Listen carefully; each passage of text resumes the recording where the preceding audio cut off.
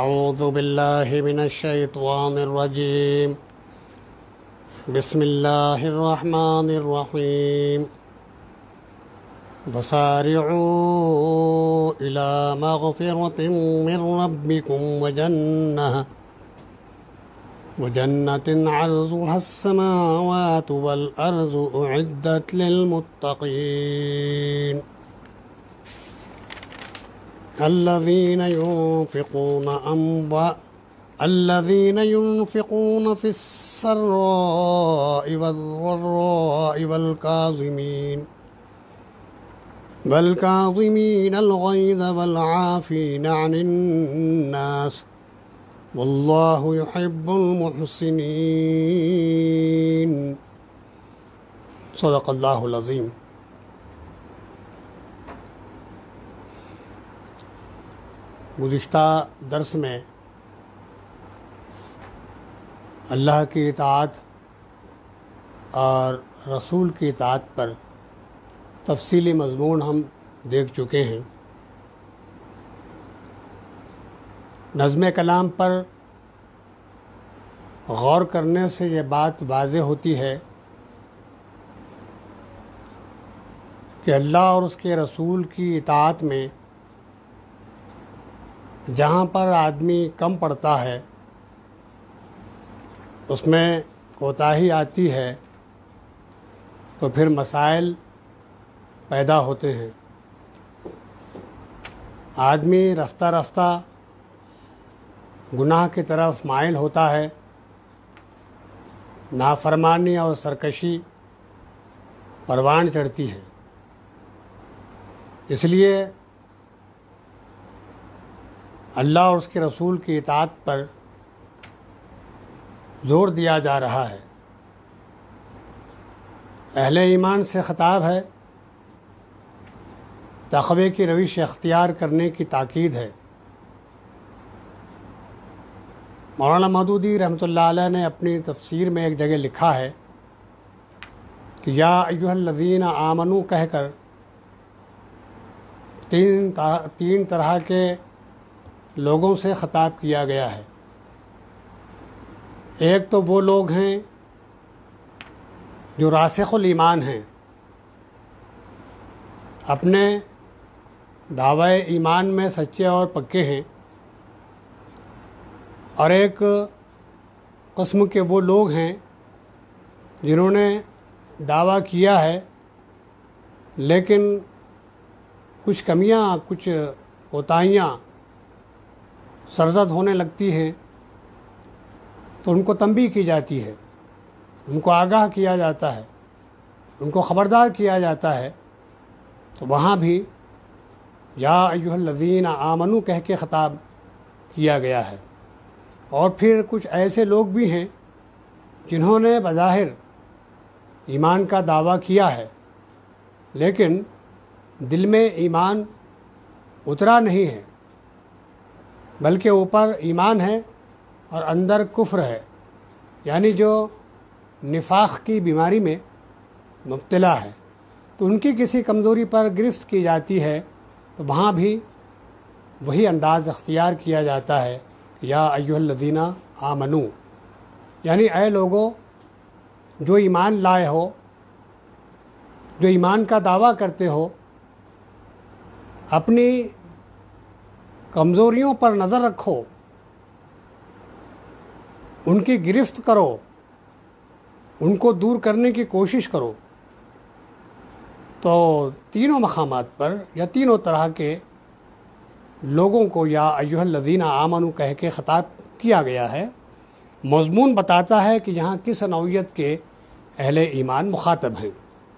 तो जब कमज़ोरियों पर, खामियों पर या किसी ख़ास हुक्म की तरफ़ तवज्जो दिलानी मकसूद है तो वहाँ यही अंदाज अख्तियार किया गया, या अयुल्लदीन आमनु। अब देखिए, ये आयत जिसमें कहा गया, और दौड़ो अपने रब की बख्शिश और मगफ़रत की तरफ़। और उस जन्नत की तरफ़ जिसका अर्ज़ है, आसमान और ज़मीन जैसा। वो जन्नत परहेजगारों के लिए तैयार की गई है। सूरह हदीद में यही मजमून हमको मिलता है। सूर्य हदीद की आयत नंबर 21 में यही बात कही गई है। लेकिन वहाँ सबक़ु कहा, यहाँ सारिउ कहा, दौड़ना, आगे बढ़ने की कोशिश करना और सबक़ु यानी सबक़त ले जाना दूसरों के मुकाबले में सबक़त ले जाना सबक़ु इला मगफ़िरत मिर रब्बिकुम व जन्नतिन अर्ज़ुहा का अर्ज़ वलर्ज़ लिल्लज़ीन आमनु बिल्लाहि व रसुलिहि ज़ालिका फ़ज़लुल्लाहि युतीहि मन यशा वल्लाहुल अज़ीम और अल्लाह की मगफ़रत की तरफ़ मुसाबकत करो और एक ऐसी जन्नत की तरफ़ जिसका अर्ज़ आसमान और ज़मीन की तरह है, ये उन लोगों के लिए तैयार की गई है जो अल्लाह पर और उसके रसूलों पर पुख्ता ईमान रखते हैं। यह अल्लाह का फ़ज़ल है, वो देगा जिसको चाहेगा। और अल्लाह बड़ा फ़ज़ल वाला है। सहाबा की ज़िंदगी को हम देखते हैं तो इस मामले में हम उनको बहुत आगे पाते हैं। गजबत तबूक के मौके पर कुछ चीज़ें हमारे सामने आती हैं। उनसे तकाजा होता है कि जिहाद के लिए निकलो। अपनी जान और अपने माल का नजराना पेश करो। तो बैतुलमाल में साहब कराम एक दूसरे से आगे बढ़ जाने की कोशिश करते हैं माल जमा करने में। हज़रत अमर रज़ी अल्लाह घर का आधा असासा लेकर आए और अपने तौर पर यह समझने लगे कि अब मैं हज़रत अबू बकर से आगे निकल जाऊँगा। हज़रत अबू बकर सिद्दीक़ रज़ी अल्लाह घर का पूरा असासा लेकर आए। नबी करीम सल्लल्लाहु अलैहि वसल्लम ने पूछा कि उमर क्या लेकर आए हो? उन्होंने कहा कि या रसूलुल्लाह, घर का आधा असासा लेकर आया हूँ और आधा घर वालों के लिए छोड़ आया हूँ। हज़रत अबू बकर सिद्दीक़ रज़ी अल्लाह से पूछा कि अबू बकर क्या लाए हो? तो उन्होंने कहा कि पूरा घर का सामान लेकर आया हूँ। हज़रत उमर ने कहा कि अबू बकर, हम तुमसे आगे नहीं बढ़ सकते। मतलब सबकत ले जाने में, आगे बढ़ जाने में कैसा जज्बा है? देखिए, एक सहाबी हैं जो माजूर हैं और गरीब भी हैं। एक यहूदी के बाग में रात भर पानी देते हैं। मुआवजे में चंद मुट्ठी भर खजूरें लेकर बारगाह नबवी में हाजिर होते हैं, पेश करते हैं। तो नबी करीम सल्लल्लाहु अलैहि वसल्लम का अंदाज़ देखिए कि जो माल का ढेर रखा हुआ था, आपने उस पर उसको डाल दिया। यह हौसला अफजाई का एक अंदाज है। और फिर एक बात ये भी है कि उन्होंने कहा कि या रसूल मेरी यह हैसियत कि मैं रात भर पानी देकर आया हूँ बाग में और उसके नतीजे में ये चंद मुट्ठी और खजूरें मुझे मिली है। यही मेरी हैसियत है, मैं ज़्यादा पेश नहीं कर सकता हूँ। तो आपने उन मुट्ठी भर खजूरों को लेकर पूरे माल के ढेर पर डाल दिया है। तो ये सबकत ले जाने और ये आगे बढ़ जाने का जज्बा, दम, दाइया साहब कराम के अंदर बहुत ज़्यादा था। हम मुसलमानों के अंदर ये पहलू कमज़ोर है। हम दुनिया के मामलात में दुनियावी अमूर में एक दूसरे से आगे बढ़ जाने की कोशिश करते हैं। अलहाकम तकासुर हती तभी जो आयत मैंने तिलावत की सूर हदीत की तो उसमें भी यही मजमून है कि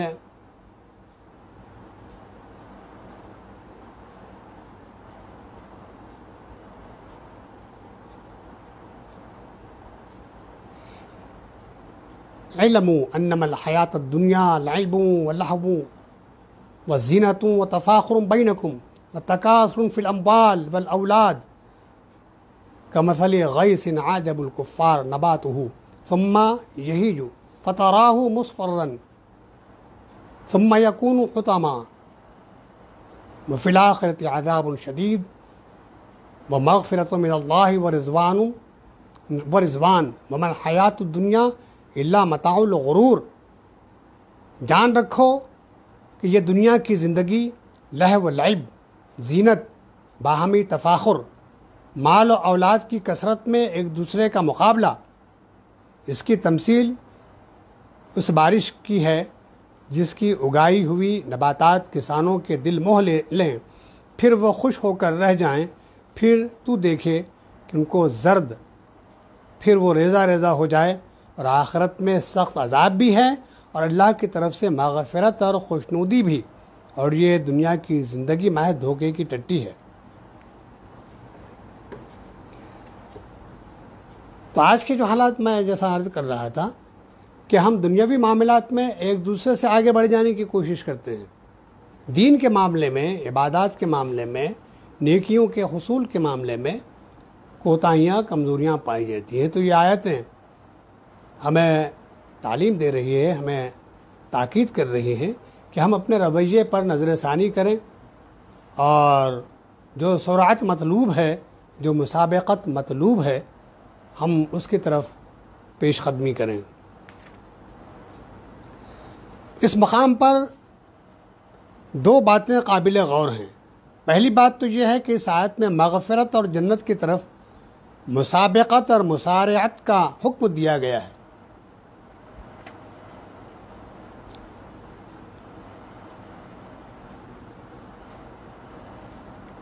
दूसरी आयत में, ला तमन्ना मा फजल बिही बाज़ुकुम अला बाज़। फरमा का दूसरे फ़जाइल हासिल करने की तमन्ना करने से भी मना किया गया है। जवाब इसका यह है कि फ़जाइल दो कस्म के हैं। एक फ़जाइल तो वो हैं जिनका हासिल करना इंसान के अख्तियार और बस से बाहर है, जिनको फ़जाइल गैर अख्तियारिया कहते हैं। जैसे किसी का सफ़ेद रंग या हसीन होना या किसी बुज़ुर्ग ख़ानदान से होना वगैरह। दूसरे, वो फ़जाइल जिनको इंसान अपनी मेहनत और कोशिश से हासिल कर सकता है, उनको फ़जाइल अख्तियारिया कहा जाता है। फ़जाइल गैर अख्तियारिया में दूसरे की फजीलत हासिल करने की कोशिश, बल्कि उसकी तमन्ना करने से भी इसलिए रोका गया है कि अल्लाह ताला ने अपनी हमत के मुताबिक मखलूक में तकसीम किए हैं। किसी की कोशिश का उसमें दखल नहीं है। इसलिए फ़जाइल, वो फ़जाइल जो कोशिश और तमन्ना से हासिल तो नहीं, अब सिवाय इसके कि उसके दिल में हसद और बोझ की आग भड़कती रहे और कोई फ़ायदा नहीं। मसलन एक शख्स काला है, वो गोरा होने की तमन्ना करता रहे तो उससे क्या नतीजा निकलेगा? अलबत्त जो फ़जाइल अख्तियारियाँ हैं उनमें मुसाबक़त और मुकाबले का हुक्म दिया गया है। सिर्फ़ एक आयत में नहीं, बल्कि मुतद आयतों में आया है।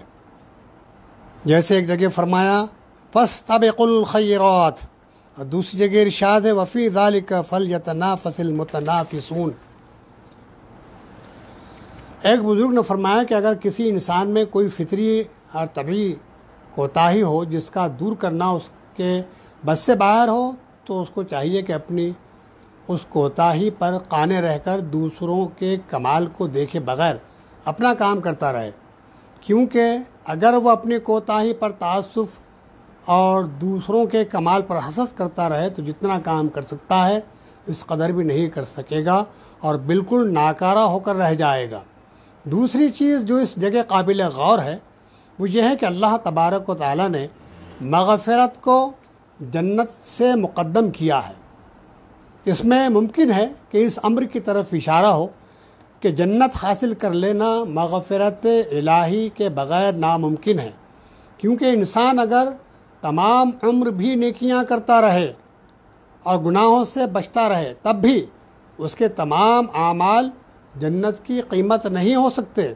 जन्नत में ले जाने वाली सिर्फ़ एक चीज़ है, और वह है मगफ़रत बारी ताला।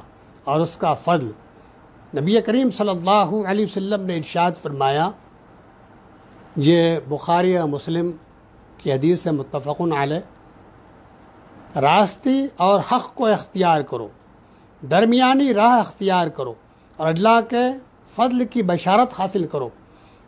किसी शख्स का अमल उसको जन्नत में नहीं पहुंचाएगा।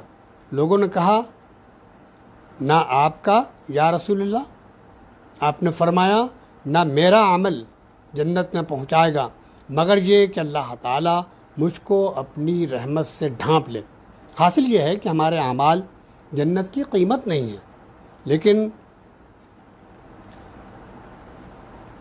आदत अल्लाह यही है कि अल्लाह ताला अपने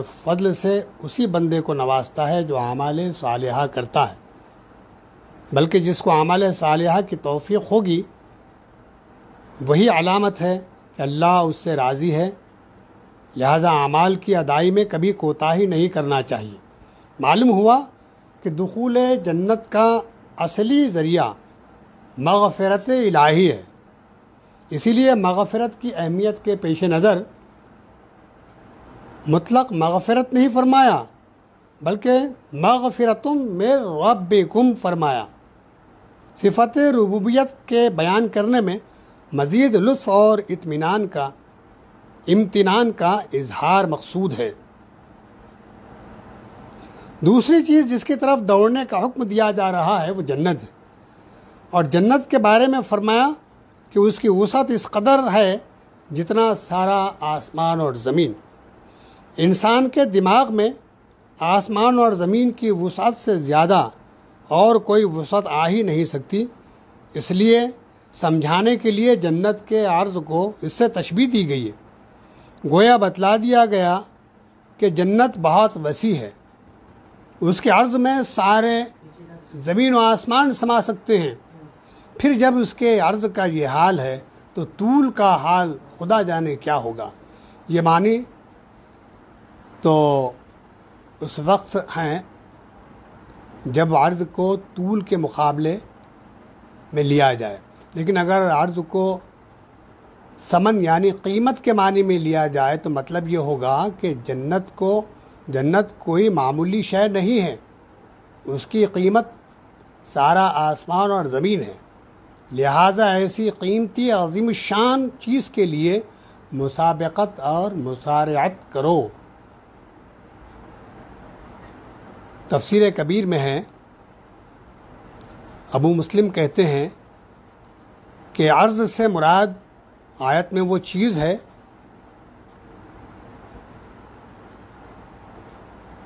जो मुबी के मुकाबले में बतौर कीमत पेश की गई। मतलब यह है कि अगर बिलफ़र्ज़ जन्नत की कीमत लगाई जाए तो सारा आसमान और ज़मीन और उनकी कायनात, उसकी कीमत होगी। मकसूद, इससे जन्नत की आज़मत और जलालत कद्र का बयान करना है। जन्नत का दूसरा वस्फ बताया गया कि उद्दत ललमतकीन यानी जन्नत परहेजगारों के लिए तैयार की गई है। इससे ये भी मालूम हुआ कि जन्नत पैदा की जा चुकी है। कुरान और हदीस के वाज इशारात से मालूम होता है कि जन्नत सातवें आसमान के ऊपर हैं। और इस तरह के सातों आसमान उसकी ज़मीन है। बहरहाल, इस वसी वरीज़ जन्नत के हसूल की ताकीद की गई है, तवज्जो दिलाई गई है और अपने अमल पर गुरूर न हो, गुरूर अमल न हो, बल्कि अल्लाह का फ़ज़ल, उसका एहसान और उसका करम हम जो है हासिल करने की कोशिश करें कि अल्लाह की रहमतें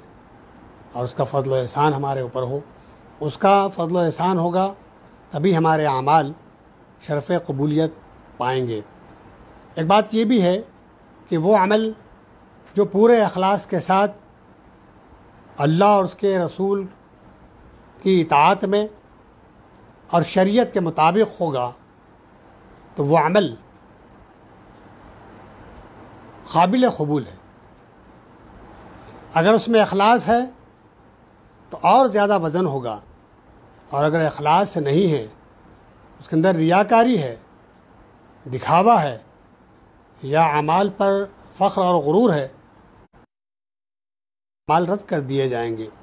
इस तरफ़ भी तवज्जो की ज़रूरत है कि पूरे अखलास के साथ लाहियत के साथ और शरीयत के मुताबिक अल्लाह रसूल के अहकाम के मुताबिक वो अमल हो और अल्लाह ताला हमसे खुश हो जाए, रज़ा इलाही मतलूब हो तो यकीनन वो अमाल क़यामत के दिन मीज़ान में वजनी होंगे और निजात का ज़रिया बनेंगे।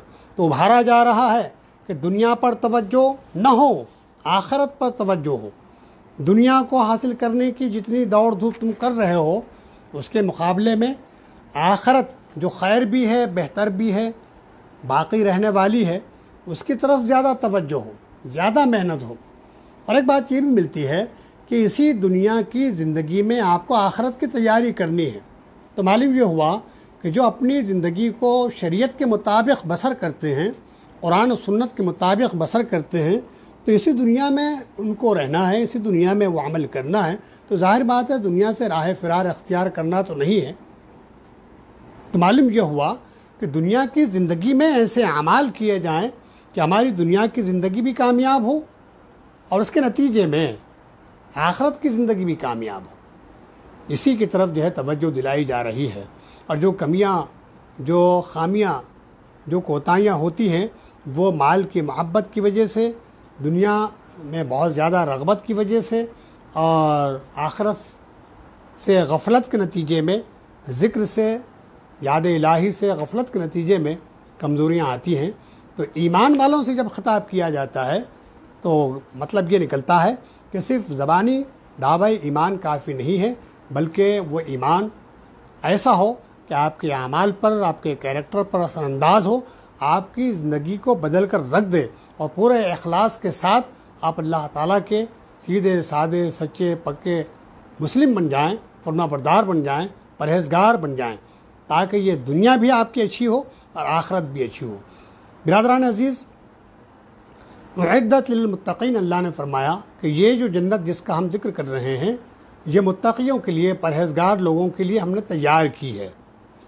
मैंने इससे पहले भी ये बात आप पर वाजे की कि कभी ऐसा होता है कि तखवे का ज़िक्र पहले होता है और फिर तखवे के नतीजे में जो किरदार परवान चढ़ता है जो ज़िंदगी तश्कील पाती है, जो किरदार तैयार होता है, उस किरदार को जो है बयान किया जाता है कि मुत्तकी अपने अंदर इन सिफ़ात को पैदा करता है या इन खूबियों का हामिल होता है। तो आप देखिए, यहाँ फरमाया कि उद्दतमतकीन मुत्तकियों के लिए ये जन्नत जो हमने तैयार की है, फिर मुत्तकी कौन हैं? उनका कैरेक्टर कैसा होता है? उनका रवैया कैसा होता है? उनका सलूक कैसा होता है? उनके मामलात कैसे होते हैं? उनकी ज़िंदगी कैसी होती है? उसको एक एक करके यहाँ अगली आयात में उसको बयान किया गया है। और कभी ऐसा होता है कि अल्लाह ताला अपनी सिफा मुत्तकी की सिफ़ात को बयान करता है? खूबियाँ बयान करता है। फरमाता कि यही वो लोग हैं जो मुत्तकी हैं। उलाई कहमुलमतकून फिर यही लोग हैं जो फलाह पाने वाले हैं। जैसा सूर्य बकरा की इब्तदाई आयात को हमने देखा और वो आयतुल बिर में भी ये मजमून जो है है कि अल्लाह ताला अपने इंसानों की सिफ़ात को बयान करने के बाद फरमाया कि यही लोग सच्चे हैं, यही लोग मुत्तकी हैं, यही लोग फलाह पाने वाले हैं। अब यहाँ पर मुत्तकीन की सिफ़ात का ज़िक्र हो रहा है कि उनका रवैया कैसे होता है, माल के बारे में। बतौर ख़ास यहाँ पर इन्फाक़ फ़ीसबिल्ला का ज़िक्र है। जो रुकू हमने शुरू किया है उसमें पहले सूद की हरमत का ज़िक्र है। सूद से नफ़रत दिलाई गई है। सूद को हराम किया गया है और माल की मोहब्बत से रोका गया है। अब उसके नतीजे में, सूद के मुकाबले में जो रवैया अख्तियार करने की बात की जा रही है, वो इन्फाक़ फ़ी सबील्ला है कि अल्लाह की राह में माल को ख़र्च करो और मुत्तकीन की पहली सिफत ये होती है कि अल्लाह की राह में माल को ख़र्च करते हैं। सुर बकरा के इब्तदाई आयात में भी इन्फाक़ फ़ी सबील्ला का ज़िक्र है उसी जेल में कि जो माल हमने दिया है, उसमें से अल्लाह की राह में ख़र्च करते हैं। तो मालूम ये हुआ कि इन्फाक़ फ़ी सबील्ला से मुत्तकीन की सिफ़ात का ज़िक्र है इन कल के दर्स में हम उसकी तफसील देखेंगे। दुआ कीजिए कि अल्लाह ताला ये जो मैार हमें बता रहा है उस मैार पर हम उतरने की कोशिश करें। अल्लाह तोफ़ी दे, हिदायत दे क़वत दे, सलाहियत दे, मौका दे। बाखर दावाना अलहमदिल्ला रबालमीन